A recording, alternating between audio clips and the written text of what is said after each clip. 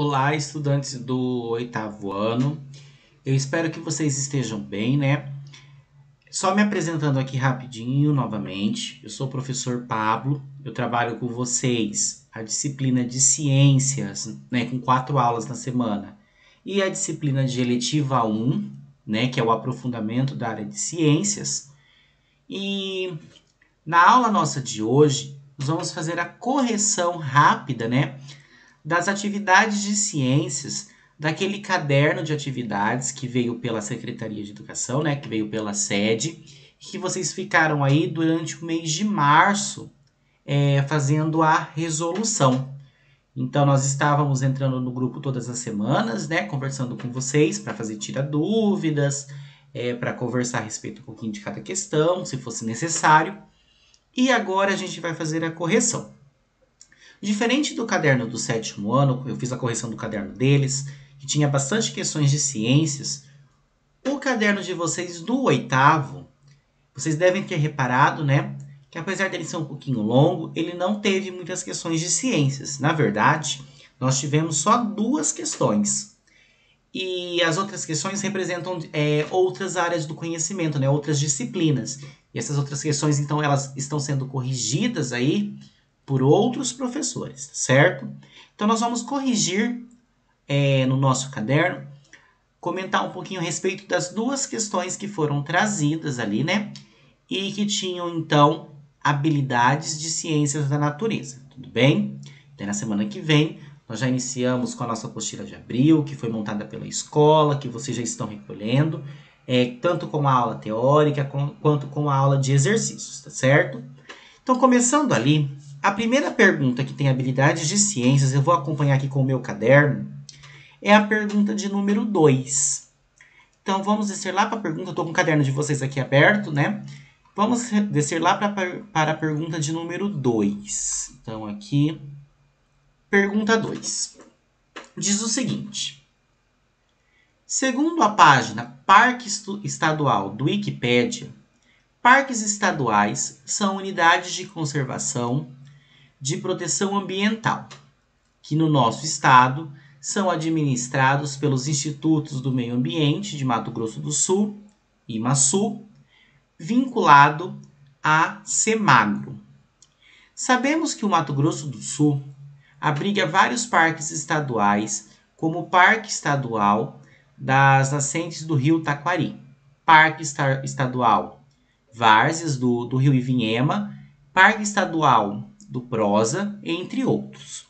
Nas mais diversas regiões do estado, há exemplos destes parques. Então, nós temos aqui um pequeno textinho, né, num parágrafo só, falando um pouquinho em relação aos parques estaduais, né, que representam é, unidades de conservação. Então, conservação tanto do, da parte aí animal, né, da, quanto da parte vegetal, então fauna e flora. E Muitos desses parques eles são restritos ali à entrada né, de visitantes, então só entram pessoas que são autorizadas, biólogos que trabalham com, com esses animais ou com esses vegetais, né? E acaba sendo bem restrito. E nós temos alguns parques que eles são abertos para uma visitação, né? Com um acompanhamento de um profissional, tá certo? Daí, em relação a isso, vem a pergunta Agora é, a ve agora é a hora de você escolher um parque estadual que representa a sua região ou cidade e fazer um levantamento de informações sobre o parque escolhido. Então aqui nós temos uma pergunta que ela é pessoal, né? Então vocês teriam que pesquisar algum parque, escolher, poderia ser até algum, algum que a própria pergunta trouxe, e vocês teriam então que buscar informações sobre esse parque. Então quando esse parque foi criado, quais os municípios que abrangem a sua área, com que objetivo ele foi criado, quais são as suas principais características e se há atividades de visitação, né? E quais são. Então vocês poderiam escolher um parque qualquer aqui da nossa região, né? Nossa cidade não tem um parque específico, mas a nossa região, nosso estado tem muitos. Então vocês poderiam escolher esse parque e retratar tudo isso aí que foi pedido, tá ok? Então a pergunta aí, pessoal. A outra pergunta que nós temos é a pergunta de número 7, que diz o seguinte: vamos lá na pergunta 7, então. 4, aqui 5. Pergunta de número 7. diz o seguinte: Ao ler o texto 1, na região do Mato Grosso do Sul, nós temos vários pontos turísticos, trilhas e passeios monitorados por guias, conforme cita o trecho do texto. Ainda na caminhada, o visitante vai reencontrar, na chamada ressurgência, o rio antes perdido. Nesse ponto foi construído mais um deck para contemplação e haverá uma parada de banho. Com base nessas informações, assinale a alternativa que condiz com o enunciado. Então, nós temos aqui, né, que está falando em, em relação a, a, a, um parque, né? E esse parque, então, ele é aberto à visitação, né? Então, ele é, ele é considerado aí um ponto turístico, porque as pessoas elas podem visitá-lo e, com base nessa, nessa visitação, é, elas conseguem, então, é, contemplar várias coisas e existem alguns pontos ali é, que são mais importantes que foi construído então um local, né, onde o, visitante pode parar para tirar foto, ele pode parar para conhecer mais o local, para buscar informações, etc. Daí agora vem em relação a essas, essas frases que foram trazidas aqui no trecho para assinalar a alternativa que condiz com isso. Né? Então, nós temos ali: a visitação é livre, os turistas podem conhecer a região sem se preocupar com o que deixam de lixo no local visitado. Aqui a gente já sabe que está totalmente errada, né? Porque em nenhum local, mesmo que não seja um parque, a gente não deve deixar lixo, né? É até uma falta de respeito, deixar o lixo naquele local. Então a gente já sabe que essa aqui está completamente errada. A letra B. De acordo com o Instituto, a visitação deve ser monitorada pelos guias turísticos para que o turista possa usufruir né, da contemplação da natureza e de banhos em locais devidamente marcados para preservação local. Então, essa aqui parece que ela está mais completa. Vamos ver, né? Vamos pular para a próxima. É, letra C.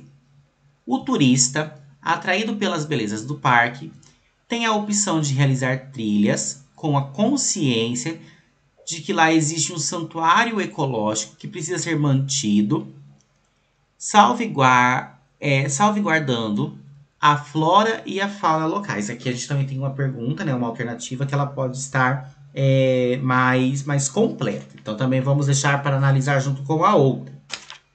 E a última, segundo o trecho do texto, os turistas podem usufruir desses locais não sendo respeitosos nem cautelosos nas visitas. Então aqui também a gente já sabe que está completamente errado, porque a pessoa também, em qualquer local, né, ela tem que ser respeitosa e cautelosa. Né? Nós estamos falando de um parque, tem animais ali, então se ela não for cautelosa, ela pode acabar se machucando. Então a gente ficou entre a letra B e a letra C. Não sei se vocês perceberam, vamos voltar na letra B. Diz o seguinte: de acordo com o Instituto, a visitação deve ser monitorada pelos guias turísticos. Até aqui tá certo, né? Tem que ser monitorada, tem um guia ali que, que orienta, para que o turista possa usufruir da contemplação da natureza e de banhos, tomar banho, né, em locais que são devidamente marcados para a preservação local.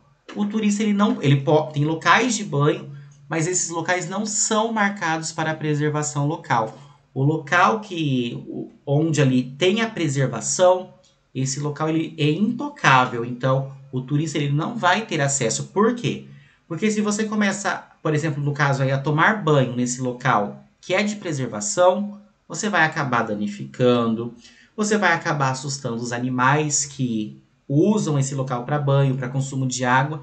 Então, esses locais de preservação, eles não podem ser tocados, aí tocados entre aspas, né? Pelos turistas, tá certo? Então a letra B, ela tá errada só por conta desse trechinho final.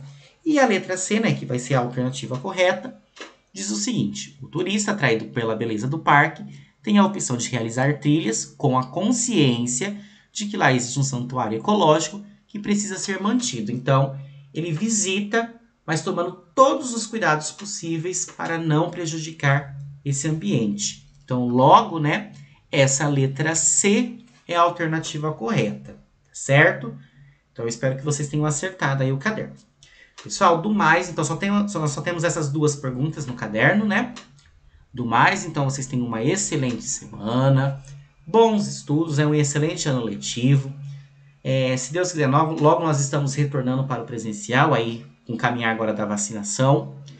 É, a partir da semana que vem, nós já começamos a conversar sobre o caderno de abril, então vai ter aulas teóricas, né, que a gente vai estar expondo o conteúdo, vai ter aulas para as atividades, e daí a gente vai postando todo no decorrer ali, né, nos grupos de WhatsApp de vocês, tá certo? O grupo de estudos. Então, como eu falei, tenha uma excelente semana e até logo. Tchau, tchau, pessoal!